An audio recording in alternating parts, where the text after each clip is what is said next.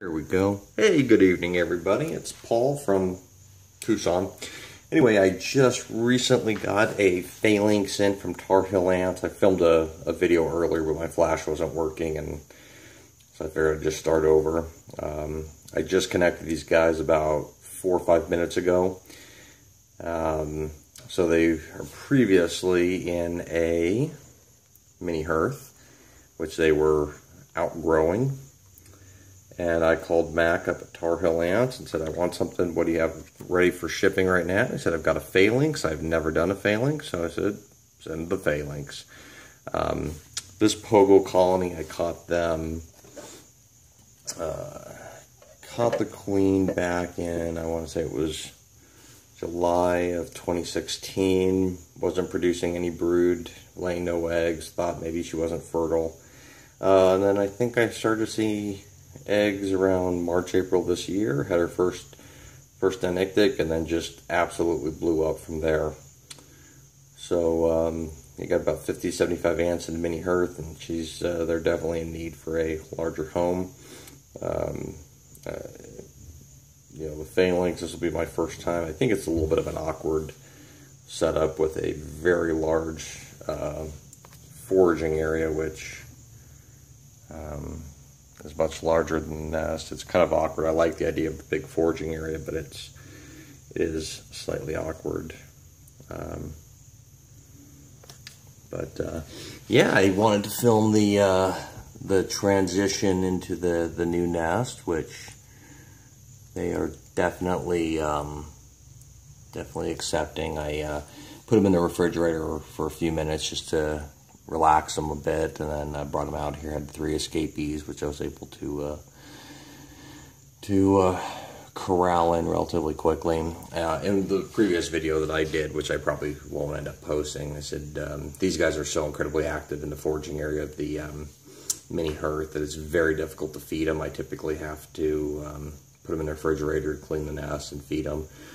So having you know having the nice foraging area, and I've you know having some room to put some um, uh, um, fluon down so they can't crawl up to the edge. I think I'll be able to feed them better, um, keep them hydrated better. Uh, this obviously has the nest mates, which um, uh, as you can see right there, that little tube with the red stopper uh, a fine mesh on the inside, so I fill it with water and gives them an opportunity to hydrate. When the water runs dry, I typically just, you know, or they will abandon it, so it gives me time to pull it out, get more water in there, and uh, get it back in there. So I've, I've kind of struggled with keeping them hydrated in the mini hearth because they're just they're so active, unlike other species where I can um, very easily pop the lid, put a new water feeder in there, food or something, to drop a honey sugar or whatever. These guys just, you know, I, I get escapes every time, so I've kind of resorted to having to chill them when I uh, when I um, uh, when I'm going to feed them or manage the nest. So it'll be nice to get them in a, a larger uh, larger home where I can uh, or where they can one grow and I can keep up with the uh, the upkeep a little bit better. Anyway, I was um, hoping we would be able to see the queen, which I don't. I don't see that she's come through yet, but yeah, I'm so incredibly excited about this colony. They have done so well, and they're definitely overdue for a new home. But I can see that they're finding the water tower, the nest mate up in the upper left hand corner. So, and I left a drop of honey up up top, which they're already enjoying.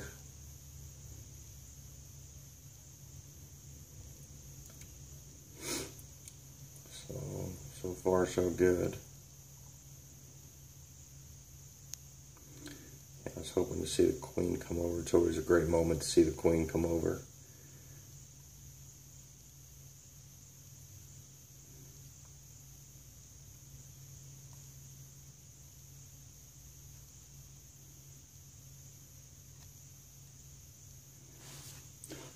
Excuse me.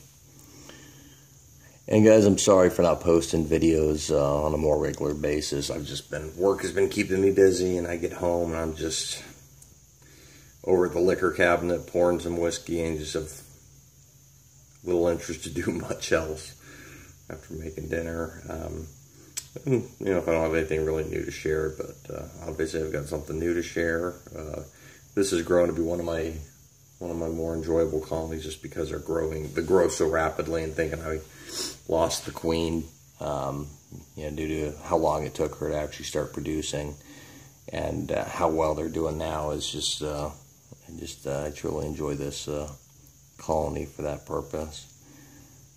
Um, I just need to see how quickly they've grown and I think I'm confident and I'm, I'm hopeful that they will um, excel in this uh, this environment.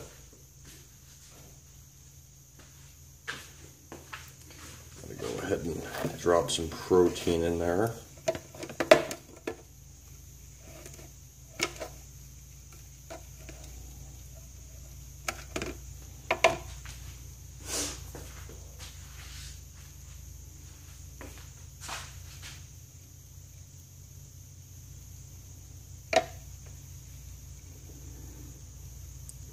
Because I'm walking back and forth. I may have missed the queen, so if you guys do see her. Okay, just dropping a little bit of protein up top. Oh man, these guys are going to be in hog heaven getting regularly fed, which for as little as I've fed them, I'm surprised how well they've done. And a lot of that's just come down to the fact that, um, you know, they're just so active. I haven't had a chance to really, uh, you know, keep up with them. So I'm, I'm really optimistic that this will be a, uh, a good move for him.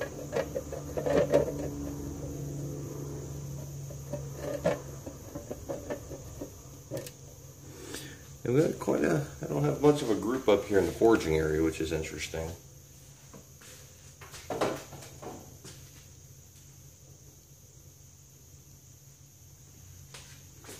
Figured I'd see more of them, only only two.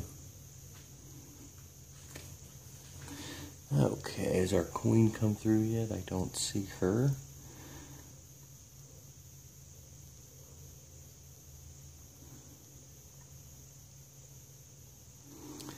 I don't want this video to get uh, too lengthy, but I was hoping we could uh, capture the queen's uh, Movement, but you may have to just wait.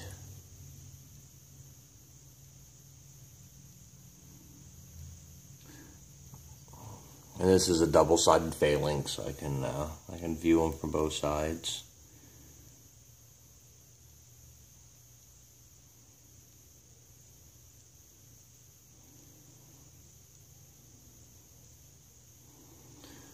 Alright, well I'm going to run in and see how the ants in the foraging area are doing. I shoved them in the fridge to cool them off a little bit so I can try to move them, so I'll be right back.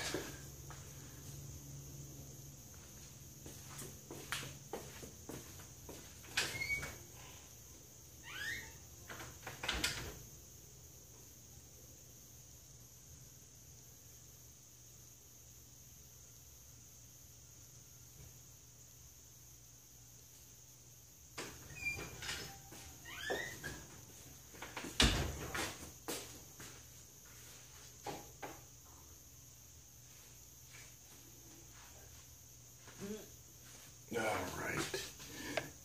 Have we gotten a queen yet? And you know, part of me is I don't I don't think I've ever actually maybe with the real small colonies I've seen the queen move. This is a little bit more a little bit larger of a colony. I'm kind of interested to see if uh, you know, she comes over with an entourage or not.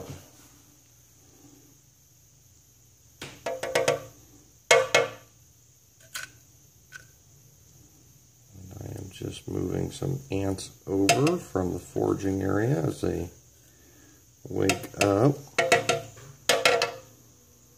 So what you're listening to is I'm just grabbing them with tweezers, or actually they're kind of crawling up with tweezers, and they're not biting the tweezers.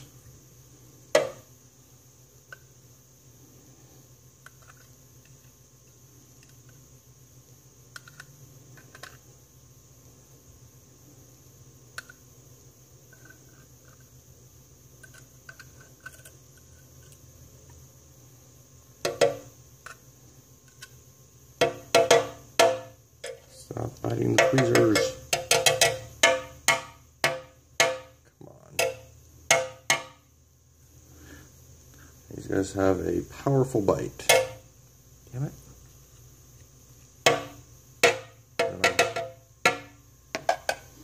Okay, I've got one problem. Come on, get off.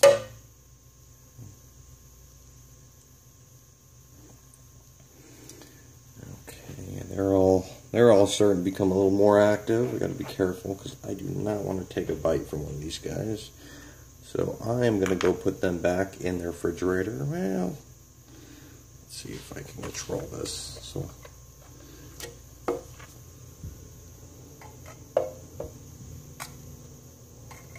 they come out, drop them in.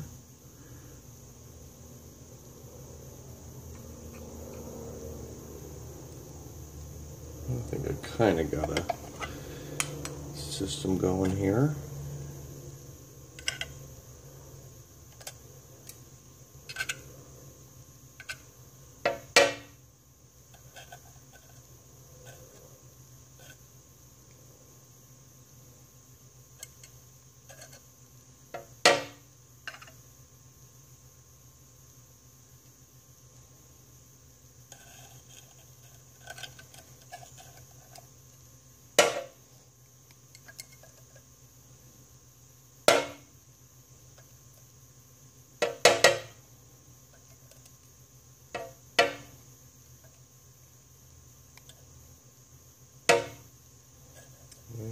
one more.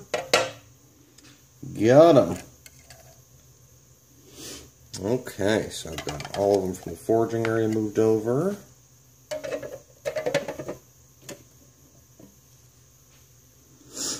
And they are going to town with the two crickets I put in there. And they are enjoying the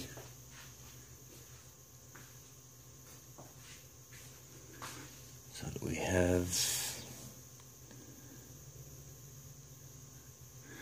just uh, scroll up here. The exception of two of these guys, the rest of them I um, came from the other foraging area.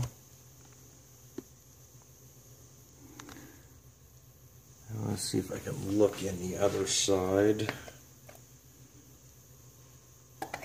See if I can see the queen over there.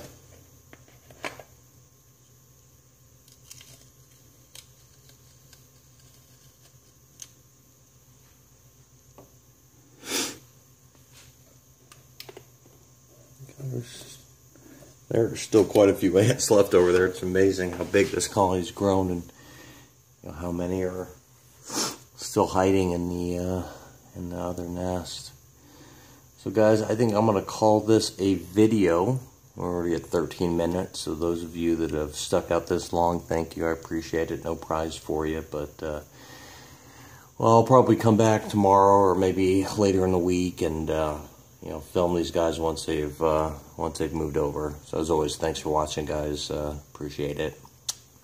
Like and subscribe. That's what YouTubers say, right? well, hey, look, we got got some interesting stuff going on up top. Going after that cricket. Yeah, they're gonna be happy here. I'm I'm really excited for them. So yeah, that's cool. Hey guys, thanks for watching. Have a great night.